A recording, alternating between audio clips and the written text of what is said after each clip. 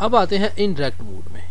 अब यहाँ हमने प्रोग्राम लिखना है। और जब प्रोग्राम लिखेंगे, हम तो याद रखें, हमेशा लाइन नंबर्स देने हैं आप। वो लाइन नंबर्स आपकी मर्ज़ी है। फाइव टेन फिफ्टीन ट्वेंटी भी दे सकते हैं। जनरली जो यूज़ होते हैं, वो टेन ट्वेंटी थर्टी यूज़ होते हैं। और यही बेटर है। यही आप करें। अब इनडायरेक्ट में मूड में अगर आपने आना है तो दो तरीके होते हैं। अगर तो आप चाहते हैं कि लाइन नंबर ऑटोमेटिकली लगें तो फिर आप यहाँ पे ऑटो लिख के एंटर कर दें। तो आप डायरेक्ट मोड से इनडायरेक्ट मोड में आ जाएँगे और वहाँ प्रोग्राम टाइप करेंगे। या आप यहाँ जस्ट न्यू टाइप कर दें। दो ऑप्शन है। तो पहले मैं ऑटो वाला ऑप्शन ले रहा हूँ। मैंने यहाँ पे A U T O auto लिख के एंटर कर दिया देखें लाइन नंबर आ गया आपके सामने टेन लिखा नज़र आ रहा है आपको। ये ऑटो नंबरिंग स्टार्ट हो गई है। अब मैं यहाँ एक प्रोग्राम बनाता हूँ छोटा सा, जिसमें दो नंबरों को जमा किया जाएगा। तो आए। यहाँ मैंने एक और कमांड दिया आपके सामने आर ई एम ये आर ई एम जो है ना, ये कॉमेंट्स के लिए है। आर एम के बाद लिखें कि the program to add two numbers. अब ये मैंने यहाँ टाइप कर दिया। जो भी आप रैम के बाद लिखेंगे, वो कमेंट्स हैं, वो रन नहीं होंगे। मैंने एंटर किया, देखें, बीस अपने आप आ गया, क्योंकि मैंने ऑटो लिखा हुआ है, और मैं इनडायरेक्ट मोड में हूँ। अच्छा अब मैंने यहाँ लिखा इनपुट। आपको याद है, मैंने पीछे करवाया था आपको इनपुट की प्रैक्टिस इनपुट लिखा, और यहाँ मैंने लिखा एंटर फ़र्स्ट डिजिट। इंटीजर लिख सकते हैं डिजिट लिख सकते हैं। ये कार्ड्स बंद करें और सेमी कॉलन दे के तो यहाँ पे मैंने ए लिख लिया है। यानी ए के अंदर वो जाएगा डिजिट जो यूज़र टाइप करेगा। यानी इसके अंदर वो डिजिट जाना है यूज़र ने टाइप करना है। मैंने दोबारा से इनपुट लिया, जमा करने के लिए दो नंबर चाहिए तो मैंने एंटर सेकंड डिजिट। लिख के तो इस तरह से मैंने कार्ड्स बंद किए और मैंने इसको बी में रख लिया। बी ए क्या है? वेरिएबल है। अब यहाँ मैं क्या करता हूँ? मैंने लिखा L E T let S is equal to मैंने इक्वल टू लिखा है, और ए प्लस बी ये मैंने क्या लिखा? देखें।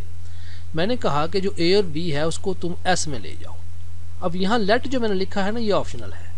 मेरी मर्ज़ी है, मैं अगर लेट लिखूँ, चाहे ना लिखूँ, मैं इसको डिलीट भी कर सकता हूँ यहाँ से। देखें, मैं इसको डिलीट भी कर दूँ नो प्रॉब्लम ये आपकी मर्ज़ी है लेट आप लिखें चाहे ना लिखें। लेट क्यों होता है? ये किसी वेरिएबल को डिफाइन करने के लिए होता है।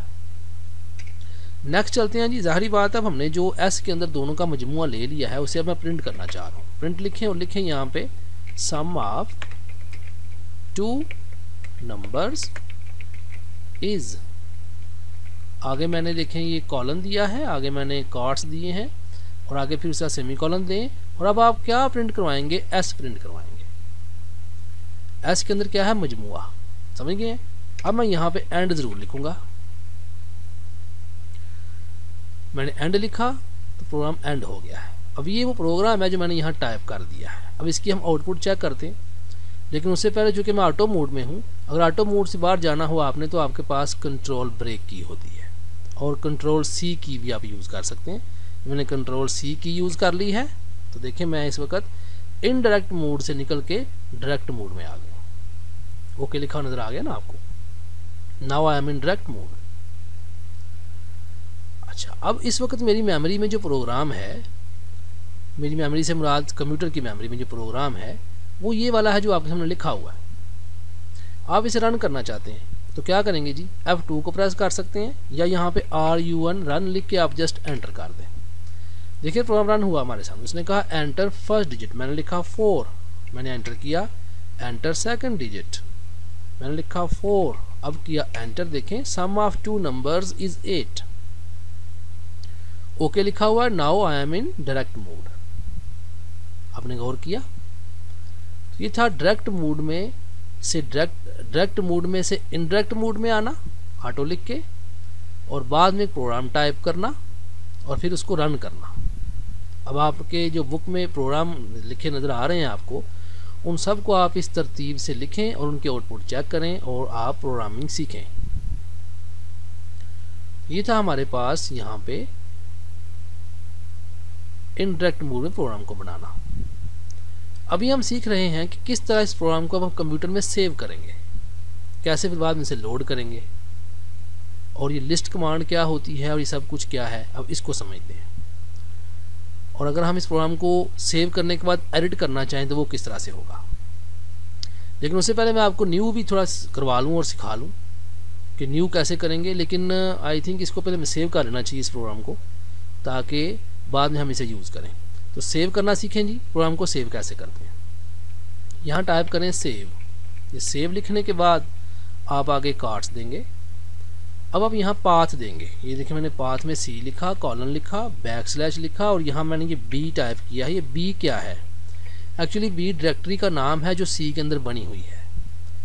तो ये मैं आपको दिखानी चाह रहा हूँ ज़रा। ये देखिए, मैं इधर माई कंप्यूटर में आया। सी के अंदर आया और देखिए मैंने ये बी नाम की डायरेक्टरी यहाँ एक बनाई हुई है।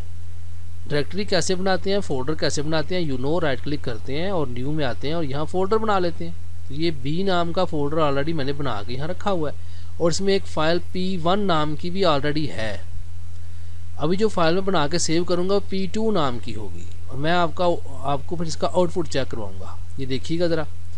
तो मैंने क्या लिखा? Save C colon back slash B यानी कि बी की डायरेक्टरी में तुम ले जाओ और इसका नाम मैंने रखा पी टू ये देखें पी टू मैंने इसका नाम रखा है। कार्ड्स क्लोज कर दें और एंटर कर दें। ओके, आ गया? इट मीन ये फ़ाइल कंप्यूटर में सेव हो गया पी टू के नाम से। आए चेक करते हैं क्या सेव है। मैंने कंप्यूटर खोला, इधर मैं सी में आया बी को डबल क्लिक किया। Now you can see P one तो पहले था, ये पी टू अभी सेव हुई है फ़ाइल इसमें। इस तरह हमने ये एक फ़ाइल इसमें सेव कर ली है। बना के हमने प्रोग्राम बनाया और बनाने के बाद उसको हमने रन किया और फिर उसको हमने अपने कंप्यूटर में संभाल के रख लिया। अब इसे लोड कैसे करना है एडिट कैसे करना है, वो बाद में सीखते हैं। पहले मैं न्यू भी आपको करवा दूँ ज़रा। न्यू में देखें ज़रा मैंने क्या किया। न्यू मैंने यहाँ टाइप किया और एंटर कर दिया। अब न्यू के बाद देखें कोई लाइन नंबर नहीं है। यहाँ आप खुद से लाइन नंबर लगाएँगे। अब इसके लिए एक प्रोग्राम लिखना चाह रहा हूँ मैं आपके सामने। थोड़ा सा ग्राफिकल टच लेते हैं इस लैंग्वेज में। सादे प्रोग्राम तो बनाना ही है आपने एवरेज निकालनी और ये सब कुछ तो आसान प्रोग्राम है। थोड़ा ग्राफिकल टच लेते हैं। इसके लिए मैं लाइन नंबर खुद से दूँगा। मैंने यहाँ फाइव लिखा। फाइव के बाद मैंने यहाँ आर ई एम लिखा। मैंने लिखा the program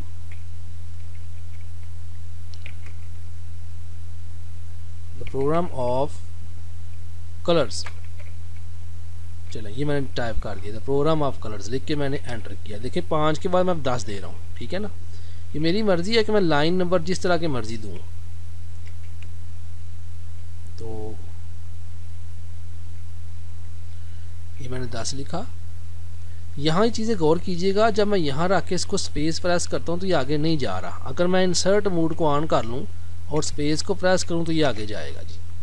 अब ये इंसर्ट मूड ख़ास बात समझनी है आपने कि अगर मैं इस तरह से इसको टेक्स्ट को मूव करना चाहूँ दाएँ बाएँ तो मैं नहीं कर सकता। अगर मैं या मैं यहाँ कुछ लिखना चाहूँ इवन तो नहीं लिख सकता। जैसे देखें ना मैंने दी की या एज की जगह मैंने लिखना है ई e, मैंने यहाँ ई e टाइप किया है, देखें तो वो उसकी जगह पे आ गया है। मैंने यहाँ पे ए लिखना है तो देखें ई e रहना चाहिए, मैं ए लिख रहा हूँ तो उसकी जगह पे आ रहा है टी हो गया। अब मैंने यहाँ दी लिखना है तो मैं कैसे लिखूँगा? देखें टी एच लिखा मैंने, ये देखें ज़रा, ये क्या हो रहा है अब? वो सारा प्रोग्राम गड़बड़ हो गया, उसमें पीछे आ गया, अब मैं एच लिखूँगा तो पी की जगह पर आ गया। अब मैं अगर ई लिखूँगा तो आर की जगह पर ई टाइप होगा, मसला हो गया। इसका हल ये है कि मैं, देखें, ये ओवर टाइप मोड है। इसको ओवर टाइप मोड कहते हैं। इस मसले का हल ये है कि आप अपने कीबोर्ड के ऊपर से इंसर्ट को ऑन कर लें। ये मैंने इंसर्ट को ऑन कर लिया है। अब देखें, जब मैं ई e लिखूँगा तो वो आर आगे चला गया। स्पेस लिखा मैंने, फिर यहाँ मैंने पी लिखा।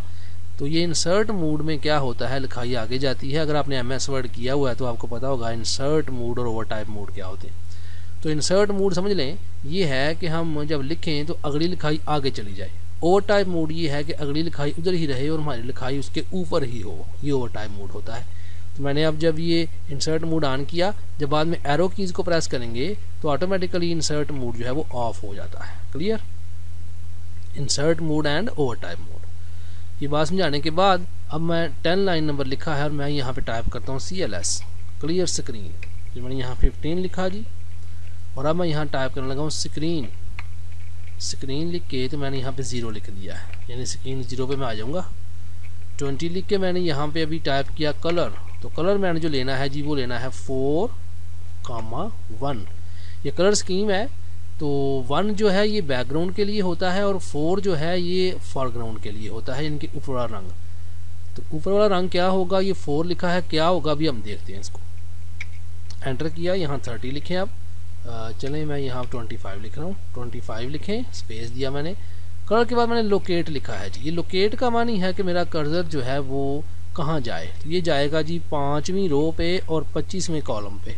ठीक है? फिर मैंने यहाँ तीस लिखा और तीस के बाद मैं यहाँ लिखता हूँ प्रिंट मैंने प्रिंट करवाना है क्या? मैंने प्रिंट करवाना है this is M C college मैंने प्रिंट करवाया है। कार्ड्स क्लोज कर दें। उसके बाद मैं करता हूँ एंटर और मैं अब थर्टी फाइव लाइन नंबर देता हूँ। और अब ये बीप कमांड है जी, एक बड़ी ज़बरदस्त। ये आपको भी इसका आइडिया होगा। मैंने बीप लिखा है। उसके बाद मैं यहाँ पर लाइन नंबर फोर्टी देता हूँ और मैं यहाँ एंड लिख देता हूँ। अब यहाँ ये बात आपने समझनी है कि line number must be there line number के बगैर इंस्ट्रक्शंस सीक्वेंस में नहीं चल सकते। और ये ख्याल रखना है आपने कि नेक्स्ट लाइन नंबर पिछले से बड़ा होना चाहिए। तभी एक फ़्लो बनेगा ना। प्रोग्राम की फ़्लो बनेगी, उसकी एक जो होती है सीक्वेंस और उसका फ़्लो बनेगा।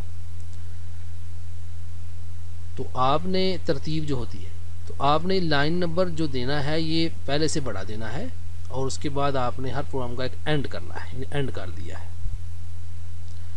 अब हम इस प्रोग्राम को रन करते हैं। देखिए, अब रन करने के लिए याद होगा आपको मैंने कंट्रोल पाज किया था ब्रेक और कंट्रोल सी भी कर सकते हैं। लेकिन जब आप न्यू में काम कर रहे हो तो नो प्रॉब्लम आप जस्ट एंटर करें और प्रोग्राम को रन कर दें। मैंने यहाँ पे आर यू वन लिख दिया रन या मैं एफ़ टू को प्रेस कर सकता हूँ। और जस्ट आप इसको रन करें, देखें क्या हुआ आपके सामने। बीप की आवाज़ आई है? दोबारा सुनिएगा। तो देखें, ये बैकग्राउंड कलर जो है, ये मेरे सामने ब्लू हो गया और फॉरग्राउंड जो है, ये मेरे सामने कुछ रेड टाइप है। मरून टाइप कह सकते हैं इसको? मरून टाइप हो गया।